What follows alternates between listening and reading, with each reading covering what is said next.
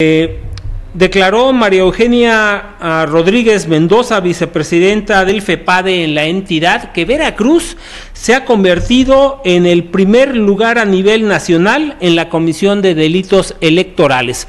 Los detalles los tiene nuestro compañero y amigo Sergio Lara, reportero desde el estado de Veracruz. La Fiscalía Especializada para la Atención de Delitos Electorales FEPADE ha recibido alrededor de 200 denuncias en la entidad veracruzana a lo largo del actual proceso, informó la representante de dicha dependencia federal en Veracruz, María Eugenia Rodríguez Mendoza. Añadió que el delito más denunciado en el estado es el llamado turismo electoral, el cual se presenta constantemente en las localidades limítrofes con otros estados, donde es fácil que lleguen personas de otros municipios para intentar registrarse y votar durante un proceso determinado. Quiero comentarles que el estado de Veracruz es el primero a nivel nacional en la Comisión de Delitos Electorales. Tenemos una incidencia del 3.8. Eso significa que no hay este vamos, eh, retroceso, sino que al contrario, se continúa cometiendo esta clase de delitos electorales.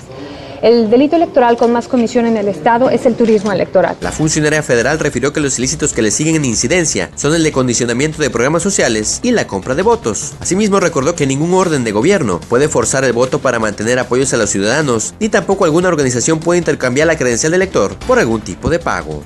El punto crítico reportó desde Veracruz, Sergio Lara. Y de Veracruz nos vamos a Baja California.